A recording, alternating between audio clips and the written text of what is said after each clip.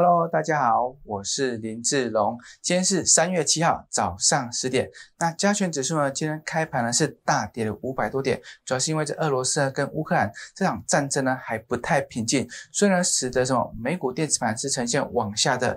那这欧洲股市呢也是呈现一个跳水的，所以呢使得加权指数呢今天的压力呢就比较大一点。那这边，你回想一下，我们在上一拜是怎么跟大家做叮咛的？我们在上一拜的时候跟大家聊到这边。反弹上来如预期反弹，但是反弹上来你也不用太过开心。反弹上来你要趁着这个机会呢，调节你手上这样产业趋势看坏的。所以产业趋势看坏的这个股如果有反弹上来，那这边是让你做一个减码的。所以如预期反弹，但是你也不用开呃不用太开心，因为目前盘势呢仍然维持在一个区间震荡。所以我们回过头来看一下这加权指数的技术分析图。那还记得吗？就是在在上礼拜这个红 K 的时候，我们跟大家聊聊到的是反弹上来，你不用太过开心呢，因为什么？因为这边反弹上来，马上遇到这压力区。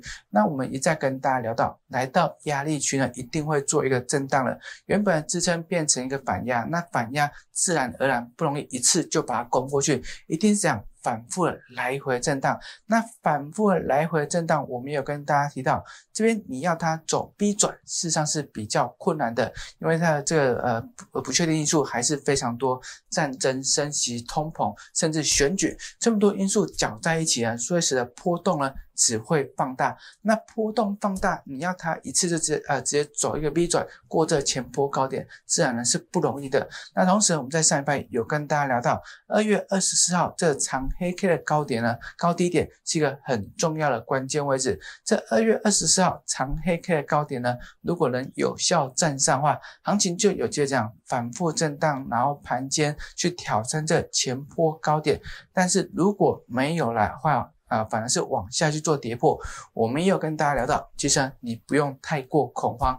怎么说呢？其实这个呃，这个低点跌破的话，你会发现，其实跟年线的距离其实也没有差太远，跟年线的距离顶多就差个四百点左右。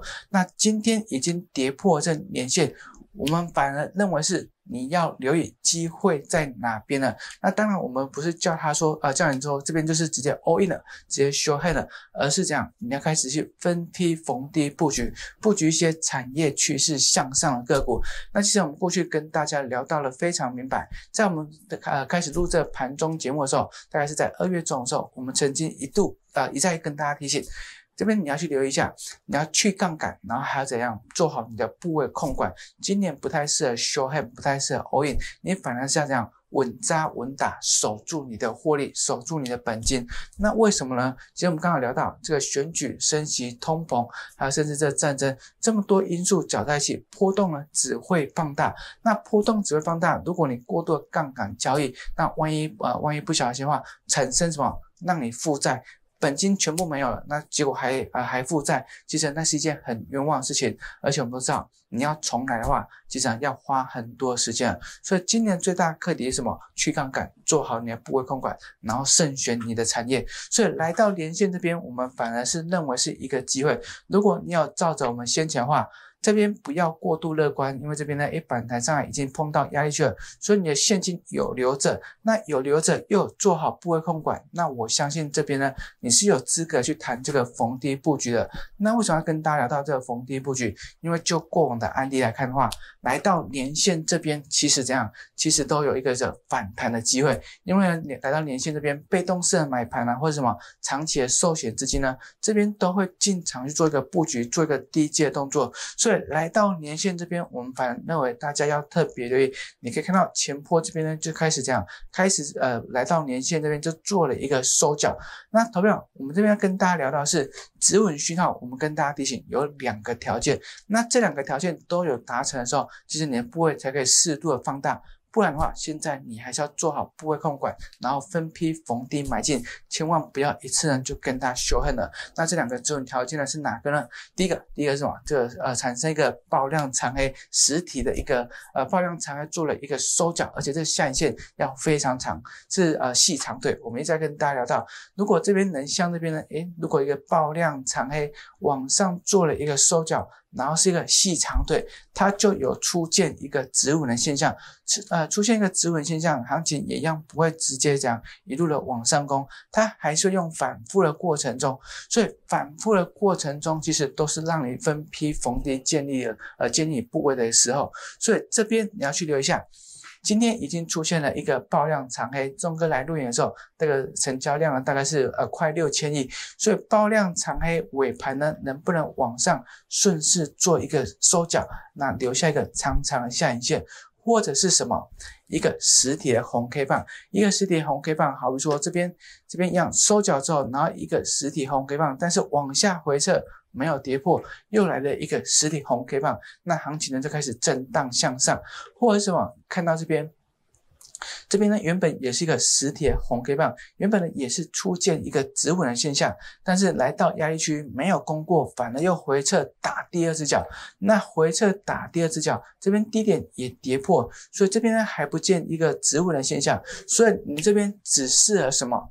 分批，分批。分批逢低，分批逢低，分批逢低，所以这边千万不要一次呢就惨惨跟它买下去了。钟哥从来不做这种事情，让你的部位保持弹性呢是最重要的。所以慎选产业，我们应该挑哪些个股呢？我们来看一下今天的盘前提醒是怎么跟大家聊到的。我们跟大家聊到，你要去留一下行业股、钢铁类股、那塑化类股，还有什么机体个股。那实际上，如果你有追踪我们节目的话，其实我们盘前提醒呢是非常到位的。我们帮大家筛选出接下来资金有机会流入的个股，那你就要去盘中去观察一下资金有没有像我们说的有开始流入，有流入的话，你可以经常做个布局。那如果没没有流入的话，我们就是持续做一个观察。那实际上航运、钢铁、塑化、机体，甚至先前也在跟大家聊到 I B 四彩、三零三五的致远，甚至什么 A B F 窄板，其实这些产业我们一再跟大家做个叮咛、做个提醒。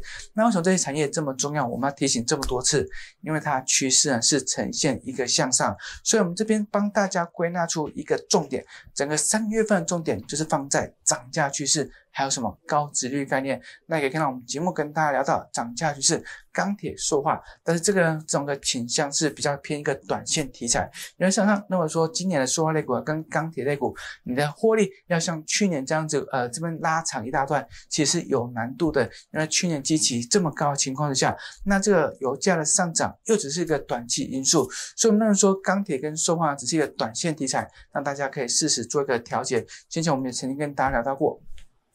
这钢铁呢，每天留下一个上呃长上影线，会不会是一个假拉抬真出货？这边是大家要去留意的。那我们也跟大家聊到的是，这边油价大涨，塑化类股只是一个短线题材，真正受惠是什么？这种航运类股。那为什么航运会是受惠呢？其实大家可能认为说，这油价上涨，航运的成本会增加，所以它可能是个受害个股。但是我们跟大家聊到的是，航运类股它仍然是一个卖方市场。如果你今天是老板的话，那你今天想卖多少？如果今天是呃，今天是你是老板，而且又是卖方市场，就是我说了算的话，那你想呃，你想呃卖多少就卖多少，你想调涨多少的运价，你就可以调涨多少的运价，因为上上还是会买单的，所以这运这个油价会反映到运价，那运价上来是不是又调高了它的获利？那行业股中哥一样是呃，保持着一个比较偏短线的一个题材，中哥为什么？好它的股利如果公布了之后，钟哥就选择开始慢慢下撤，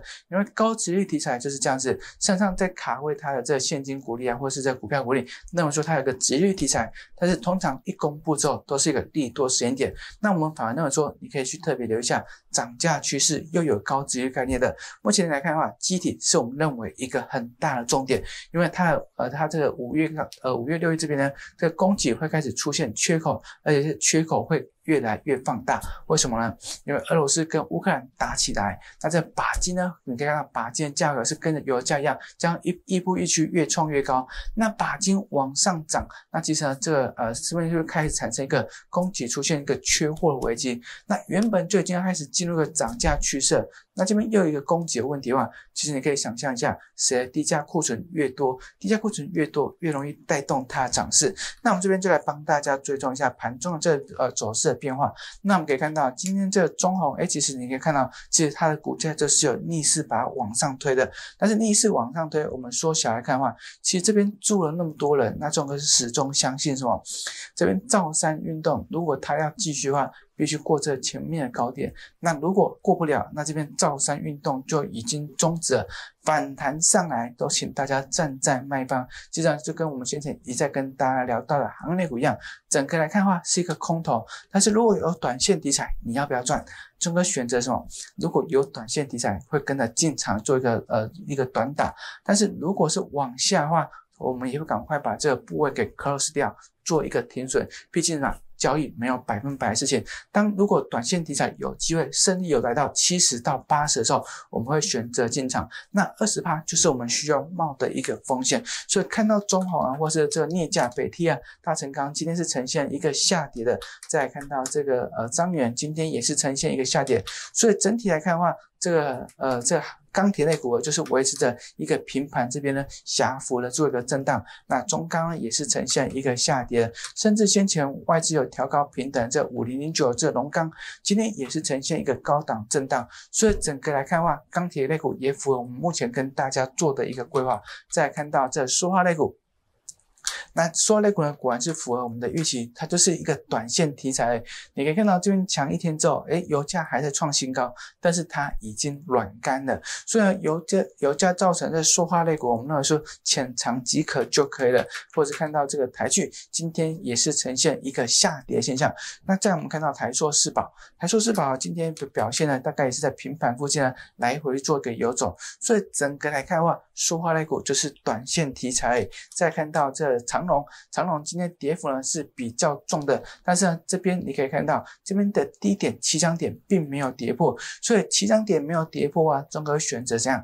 再看一下，因为这边你可以看到，头信呢在上礼拜五虽然说开低，呃开高走低，那被呃这个隔日冲给卖下，但是头信在这边还是呈现一个买超的，所以运价上涨，我们就会再看一下，然后等待什么？等待鼓励政策的一个公布，那一公布出来，中哥就会开始分批获利下车。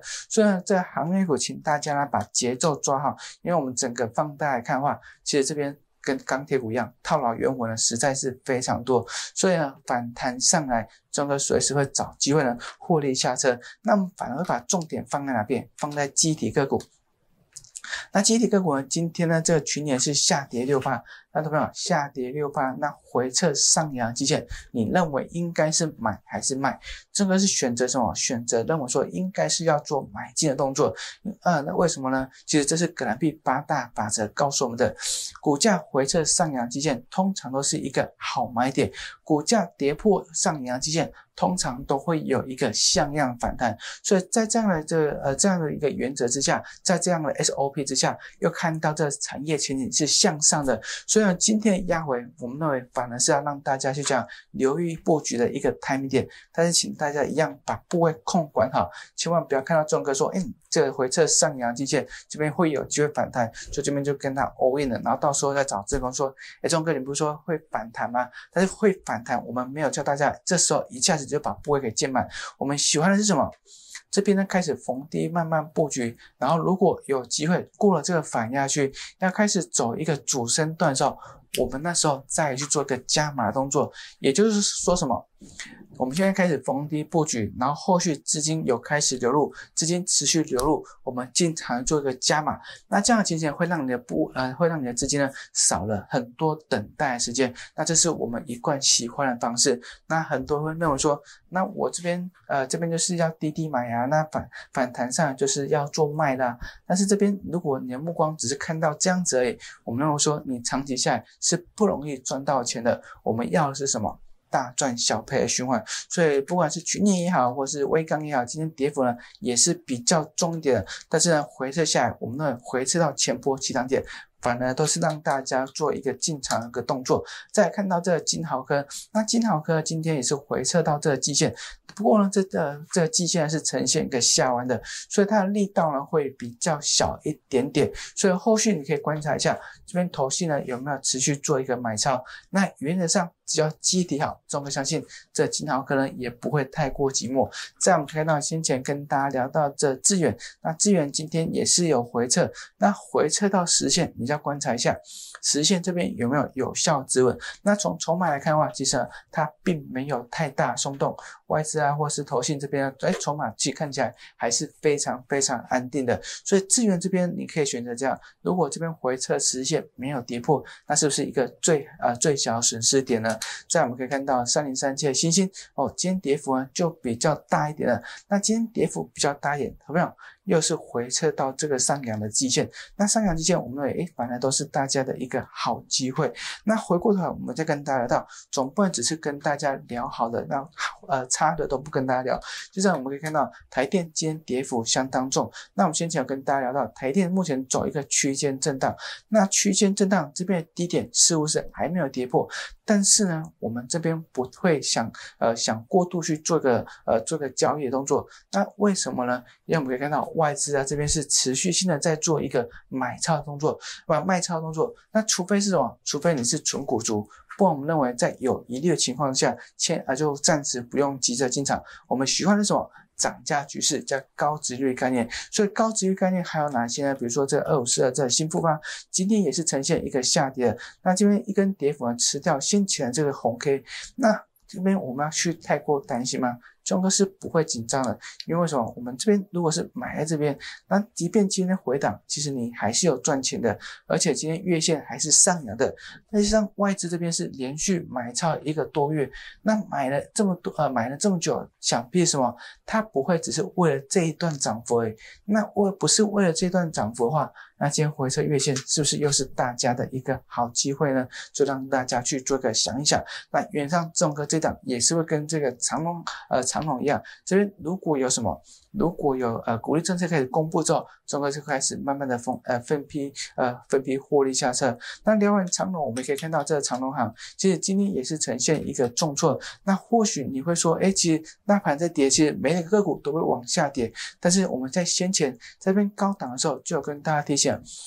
解封概念要特别去做留意一下，不是所有的个股你都可以去做一个买进的，或者是什么？有人认为说，诶，解封之后这大跌呢会非常好，但是你可以看到它鼓励政策一公布之后就往下回落，那为什么会这样？其实你时间拉长看的话，一样是一座大头部，那大头部的情况下。反弹上来，其实你都要适时的做一个呃分批获利，呃分一个做一个减码动作。所以整个来看的话，我们回过头来帮大家去追踪一下三月重点涨价趋势这样高值率概念，股价有回撤到呃，交易指数已经回撤到年线了。我们认为说这边被动式买盘，长线资呃长线资金呢都会进场，你反而去留一下。止稳现象出现的一个逢低布局的一个机会，那要布局呢？现在涨价趋势不外乎就是目前油价上涨，或是镍价上涨，钢铁、塑化、航运。都有机会，但是这些我们偏向一个短线题材，真正的 focus 重点在哪边？机体这边五六月缺货涨价，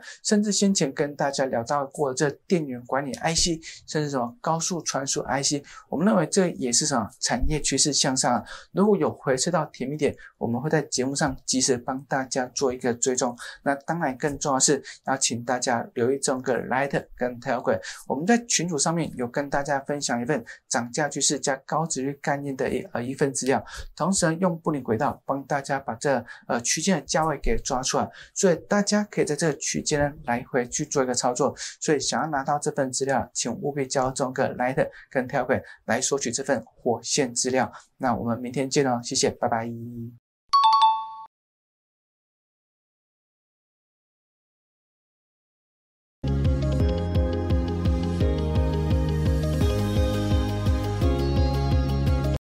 本公司以往之绩效不保证未来获利，且与所推荐分析之个别有价证券无不当之财务利益关系。本节目资料仅供参考，投资人应独立判断、审慎评估并自负投资风险。